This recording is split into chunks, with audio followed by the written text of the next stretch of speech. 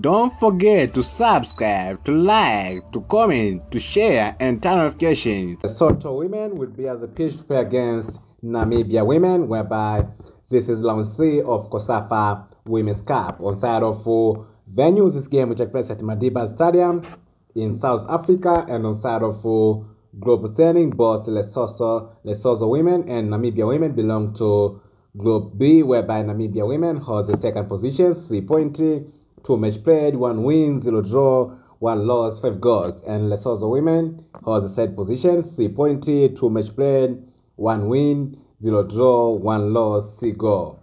While outside of head-to-head matches, there's no information for head-to-head matches between Lesotho women versus Namibia women, but we only have last matches for Lesotho women, whereby in the last two games, Lesotho women managed to win in two games, lose in three games. That's a bad performance from Lesotho women.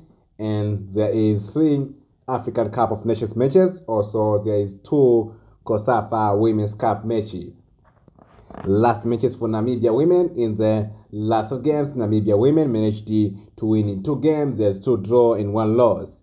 That's a good performance from Namibia women. And there is three African Cup of Nations for women's matches and two COSAFA Women's Cup matches. That is all about Lesotho women versus Namibia women. Thank you. We are CHAL TV and we are here for sport news every day, every time.